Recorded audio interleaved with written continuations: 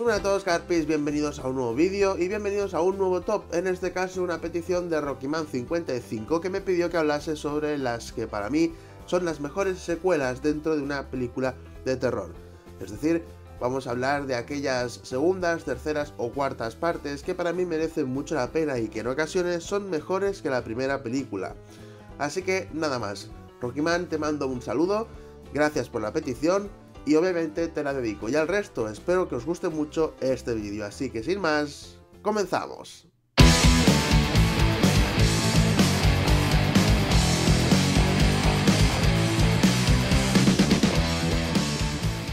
Pues hey, recordad que podéis seguir a Carpi en las redes sociales de Facebook, tanto la página como el grupo de John Carpi, Twitter e Instagram, donde podréis estar atento a las novedades que sube al canal, además de noticias de cine. También podéis seguirle en Twitch, donde serán directos hablando de cine con vosotros y gameplays. Y por último, tenéis carpiunbox.gmail.com para dejarle peticiones e incluso contrataciones. Ahora, disfrutad del vídeo. Un saludo, Carpis.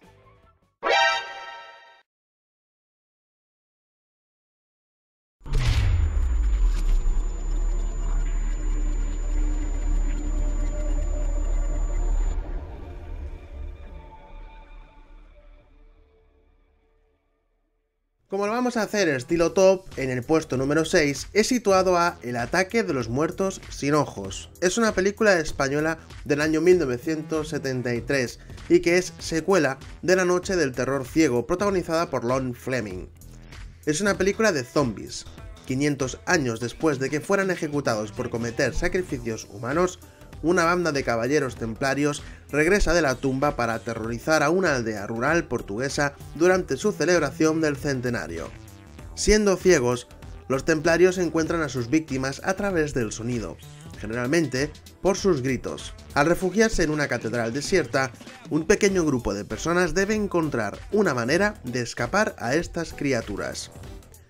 Amando de Osorio dirige y escribe esta entrega, y todas las que forman su saga, que por cierto fue bastante difícil de sacar adelante por temas de presupuesto y financiación. Esta película es la segunda parte de la tetralogía de terror de serie B de Amando Osorio, que se completa con La Noche del Terror Ciego de 1971 y que sería la primera entrega, El Ataque de los Muertos Sin Ojos de 1973, El Buque Maldito de 1974 y La Noche de las Gaviotas de 1975.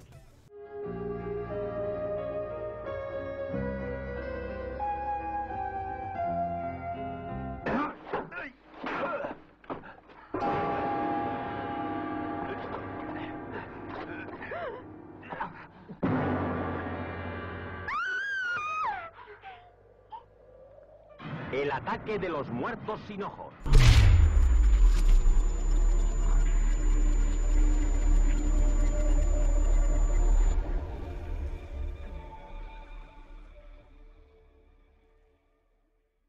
En el quinto puesto se nos cuela Michael Myers, y es que considero H20 o Halloween 20 años después como una gran secuela, que me gusta bastante, más que muchas que tiene esta saga.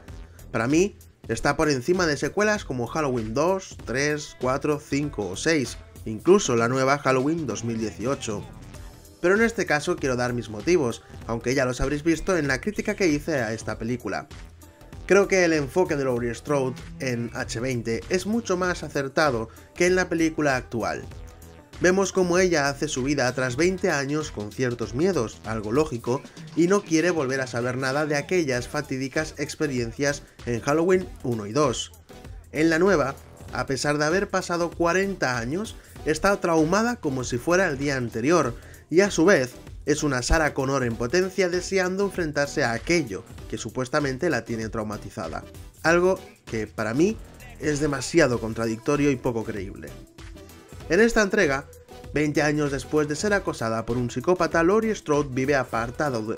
En esta entrega, 20 años después de ser acosada por un psicópata, Laurie Strode vive apartada en una pequeña ciudad con el recuerdo permanente de aquella pesadilla, tiene un hijo de 17 años, trabaja como jefa de estudios en una escuela privada, y la fiesta de Halloween está a punto de celebrarse una vez más, y Myers está invitado.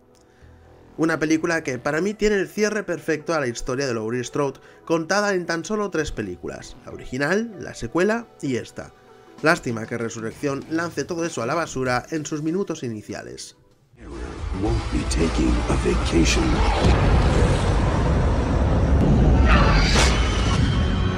Halloween H2O.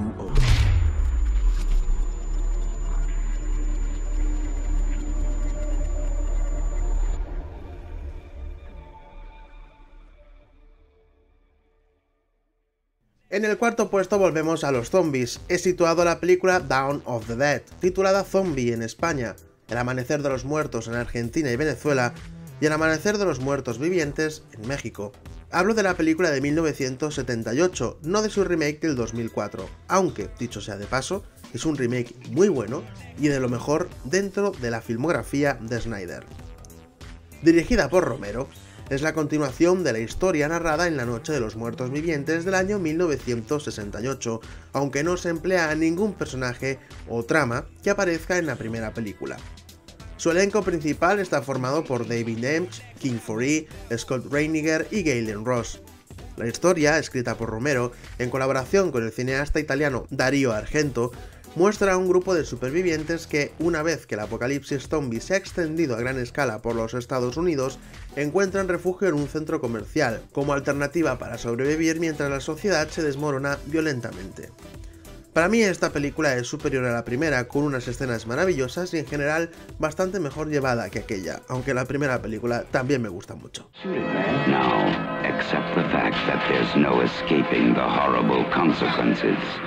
George Romero brings back the dead.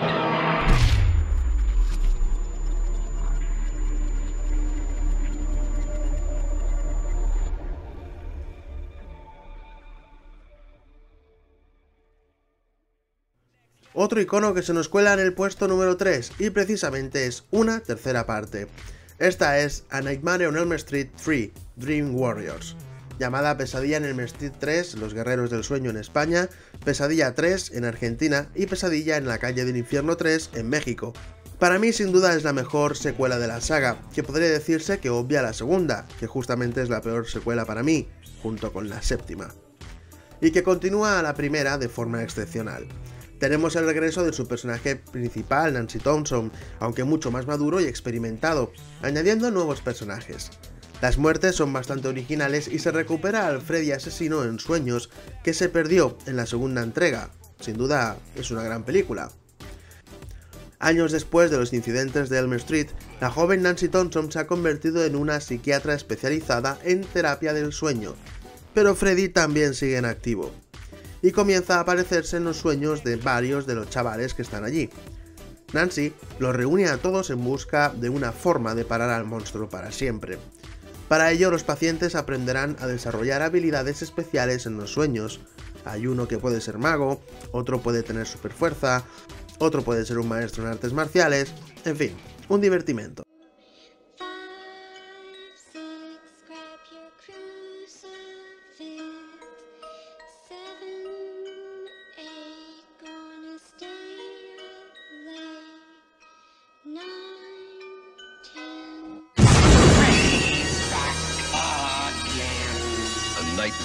Street Part 3.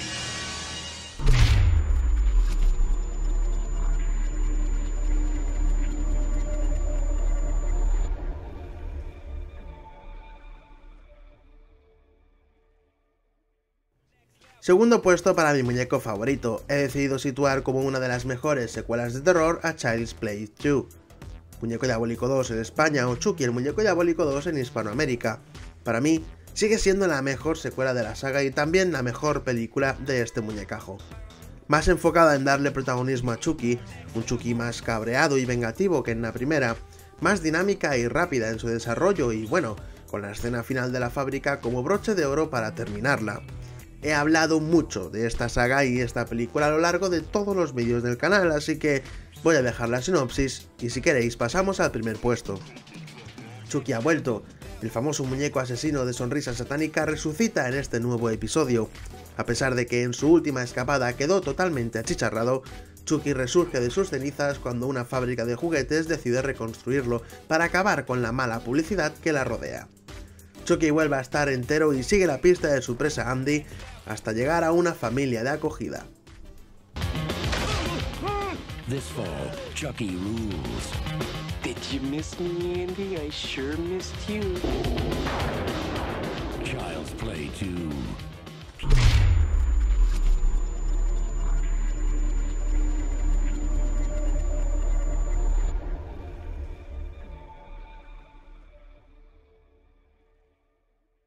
Y el primer puesto se lo he decidido dar a Rob Zombie y The Devil's Rejects, Los Renegados del Diablo en España, continuación de La Casa de los Mil Cadáveres, y para mí la mejor película que tiene Rob Zombie hasta el momento.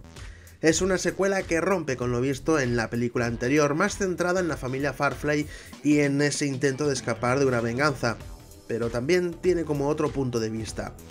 Ese final en la carretera con el tema de Free Bird es uno de los mejores finales que he visto en una película de este tipo.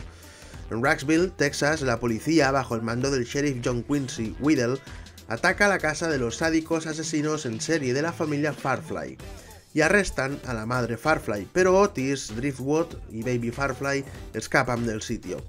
Tini está vagando cerca de la casa y también se escapa. Otis y Baby llaman a su patriarca, el payaso loco capitán Spaulding, y se reúnen en un motel aislado en el desierto. Cuando llegan Otis y Baby secuestran a dos familias de cantantes, utilizando el sadismo y la violencia contra las personas inofensivas. Mientras tanto, el sheriff Weidel promete capturar y matar a los fugitivos, buscando venganza por la muerte de su hermano, el diputado George Weidel. Aquí curiosamente es como si viéramos que los verdaderos villanos no son la familia Farfly, sino que es el policía que busca venganza. Por eso ese punto de vista es bastante diferente y acertado. Próximamente volveremos a ver a la familia Farfly en Free From Helm el año que viene.